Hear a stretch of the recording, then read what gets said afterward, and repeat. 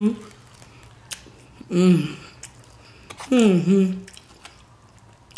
That's authentic. That's good Jamaicanness right there. I hit hard bars, you can't tell me nothing. Spit fire, burning shit like a fucking toaster. Your main bitch wanna pull me closer. What's good, my mafia? It's your girl Mo, and as y'all can see, I'm back with another mukbang and a story time right quick. Ignore the loud drunk people in the back. They're making a lot of noise. but I had to come to y'all do this mukbang. I know I had on this shirt yesterday, but that's okay. You know why? Because I'm about to get dripped out and go out. I just ain't got dressed yet. We ain't got a crispy haircut. Y'all like the braids. Yeah, you know, little something, something. Like drip on the hair. You feel me? Two braids, shorty. So today, y'all, I got some jerk chicken, rice, and cabbage. Look at that. Let me get y'all close up. On that jerk chicken and all of that goodness. Alright. So y'all, today I'm coming to y'all with a quick little story time. Um, I got some I also got some oxtails. Now, y'all, the craziest thing about where I went is the people serving the food weren't Jamaican. You feel me? It was a Caribbean spot, but the people who were serving the food were like, I want to say, look at that oxtail. Mmm. Y'all see that oxtail? Look at that oxtail. Man, serious. I'm so hungry. Like, seriously, hungry.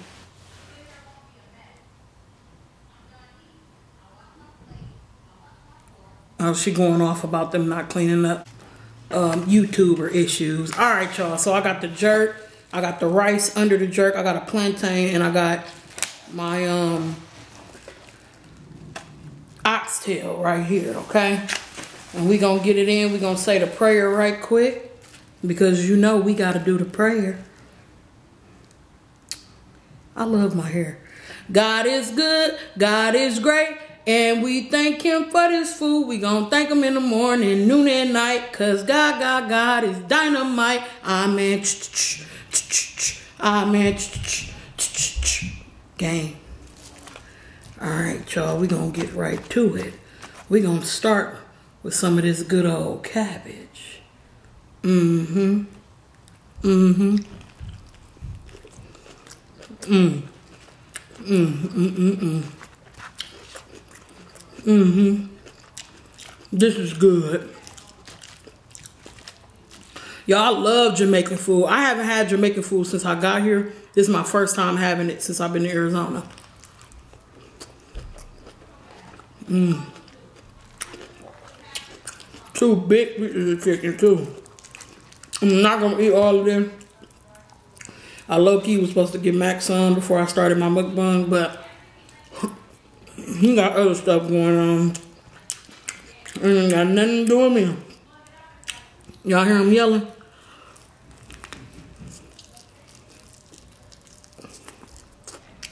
Mmm.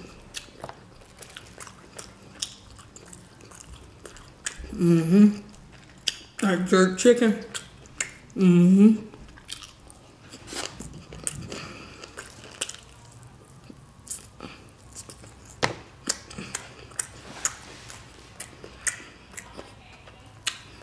I do want to tell y'all that I want to welcome all my new subscribers. We almost went and hit 50K. I'm to get the 50K giveaway popping. Y'all already know what's going on.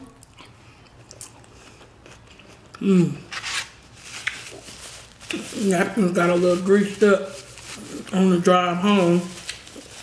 But that's all right. Ain't never hurt nobody, you feel me? Let's try this rice. Mm-hmm. Y'all see it? I know y'all see it. Stir that up, get the sauce real good all up and through there. Mm-hmm. Mm. Mm-hmm. That's authentic. That's good Jamaicanness right there. Caribbean. I don't want to offend nobody. But this is good here. This here, mmm, mmm. My cabbage gone. They could have double scooped the cabbage or something. That wasn't enough cabbage compared to everything else. Mmm. Let's try one of these oxtails, y'all. We ain't gonna put it on Paul. Oh, they put potatoes in the oxtails too, so they play you out the ox. But look at that there. Y'all see that? That's what you call oxtails. If you've never tried oxtails, go try it. It's good. Let's see if they fall off the bone with the goodness. Mm-hmm. They're falling.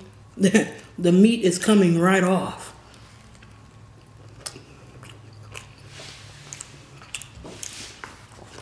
With that rice.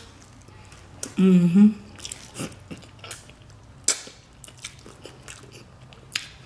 Mm, mm, mm, mm. They snapped.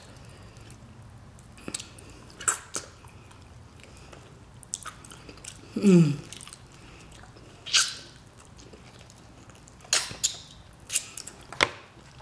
Shout out to my subscriber that requested I ate this.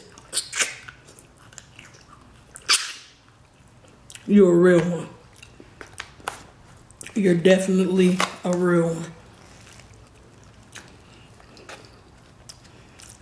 Mmm.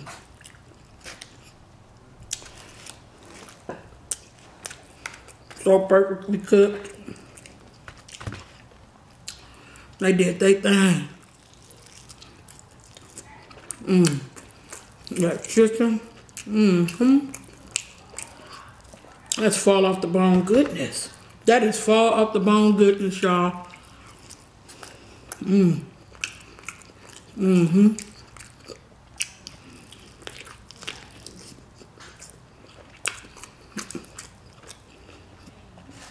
I had a story time, but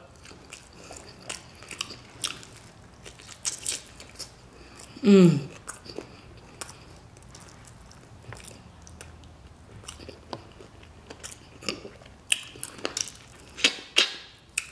Mmm.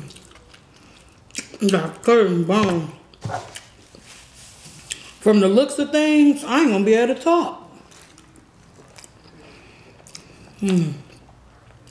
Another oxtail. Mmm. Y'all, this is good. Look at that, just come right apart like that there.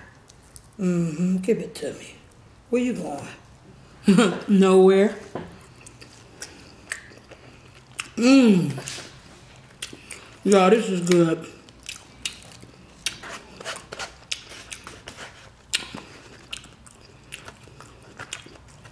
Now, I do want to talk about something with y'all. And it's kind of a touchy subject. Okay?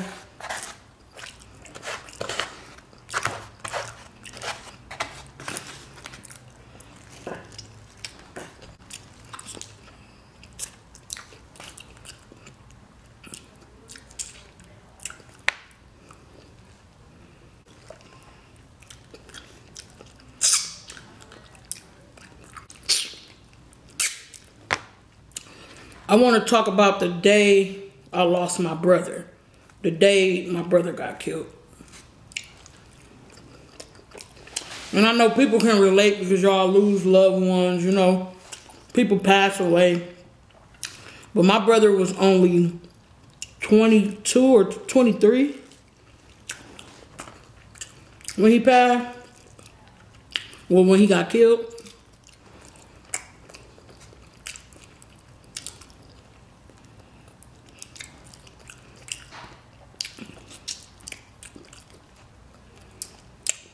Mm, I'm I'm don't more so want to talk about how he died and all that. I want to talk about how I felt. You know what I'm saying? Like how him being killed made me feel.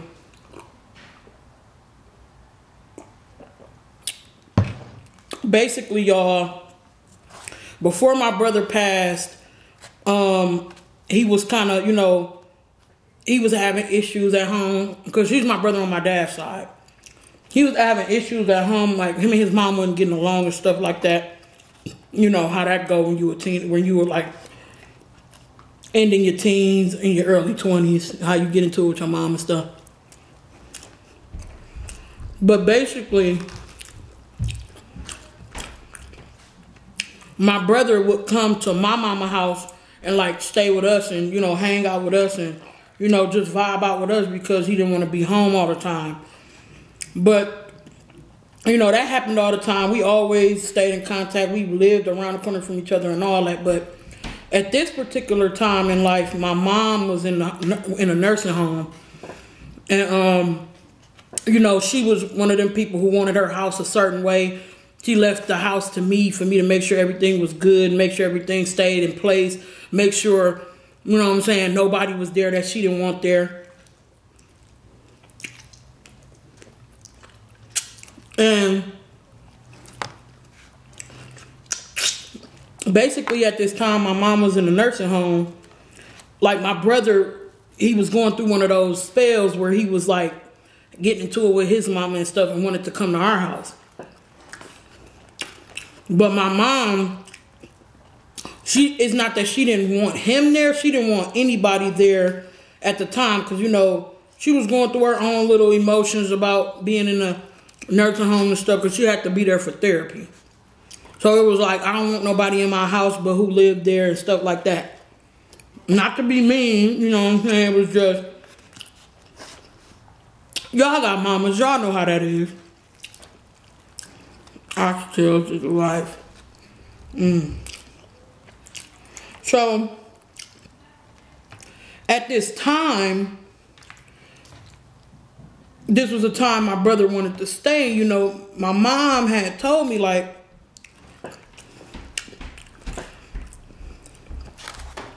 I, I don't want nobody in my house. You know what I'm saying? Like, I didn't have a choice but to kind of tell him, like, bro, you know what I'm saying? I love you. I care about you, but you can't stay. You can't be here while my mom not here. You feel me? Or whatever. So you know, he kind of he kind of got mad at me or whatever, and we kind of not got into it, but we exchanged some words and stuff. You know, he was kind of he was kind of irritated at the fact that he couldn't stay there, but but I had no control. You know what I'm saying? At this time, I was what maybe twenty at this time, he had to be like maybe 20, and I was like 24. This was some years ago, y'all. So I don't really remember how old we was at the time, but I know he was he was like younger than what he was when he passed, cause he passed maybe like no, he was even younger than that. Maybe he was like 19 going on 20 and I was like 20 24, 23, something like that. I don't know. But basically, you know what I'm saying? We exchanged our words. He had got a kind of got, you know, irritated with me at the fact that I couldn't make my mama let him stay or whatever. And you know, after that, we didn't really see each other like that. Like maybe what? Maybe like two years went by, I ain't see him. Cause he was like he was like in, in college and he was doing his own thing. Like he was real positive, real spiritual. You know what I'm saying? A beautiful soul. Like my little brother was he could dance. He was talented. I miss him. That's crazy. So when he passed, the last memory I had of us was arguing. You know what I'm saying? And when he first passed, and I was told that he had got shot, um, because he got into it at the basketball court, it just kind of shocked me. Like, what? They took bro out the game over over a basketball game? Oh, well, he got into it. He was playing basketball. He got into it with some dude. Dude went and got a gun, shot him. It's crazy. But I felt so guilty. I felt so bad, you know what I'm saying, about the fact that you know what I'm saying, the last words we had was kind of like an argument and stuff like that. And it just, you know, it really ate me up for a while. But my point of this, you know, this story time is to basically tell y'all like if y'all got siblings and y'all have disagreements, you never know when somebody gonna go. So just try to mend any, you know, any uh, animosity you have towards people, even if it's not a sibling, anybody, you feel me, that you care about. Because it's not worth them leaving Earth and you being stuck with that guilt. You feel me? Because I was stuck with guilt for a long time. And it took for me to mature and to grow up and to realize, like, Mo, it's okay. He believe you. It, not believe you. It's okay. He um, forgive you. So, you know what I'm saying? Like, like I know bro love me. I know he forgive me for whatever disagreement we had. He, I know he understands now that he's an angel. That it was out of my control. You know that I couldn't just go against what my mom said and stuff like that. So it's all good. And I definitely know he was watching over me because I've been in some situations where I, I shouldn't be here. Like I've been in situations where things got tough. Like I should be like, you know what I'm saying? You my angel. My little brother.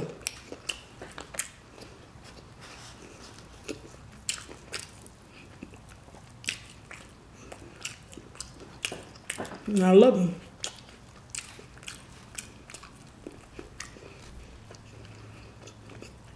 I also want to say if you're currently going through what I went through,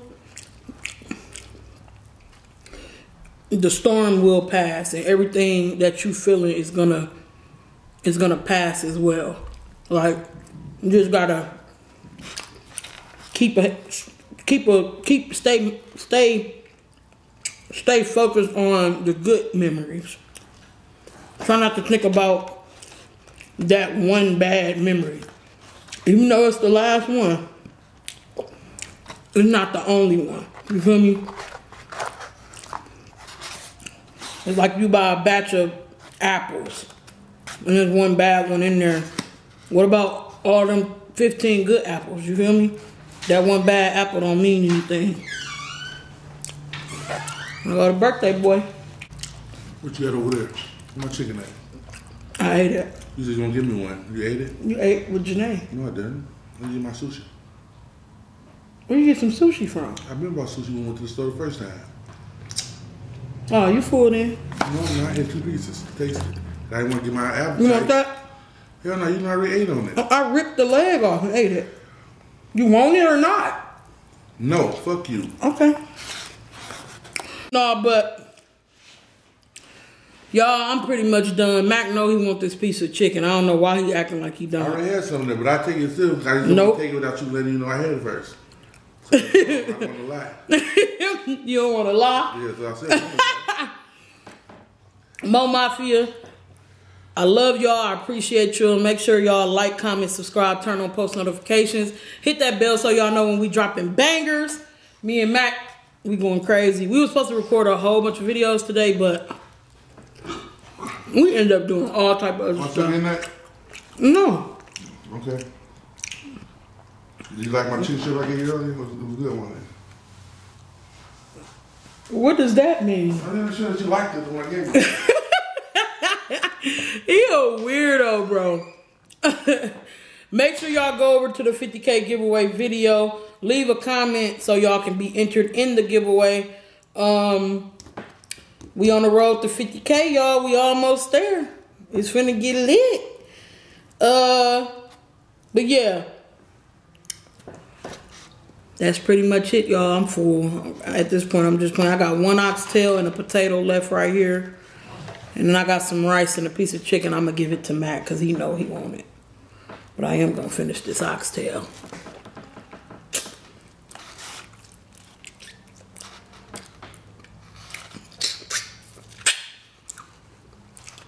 Bangers coming. My Mafia.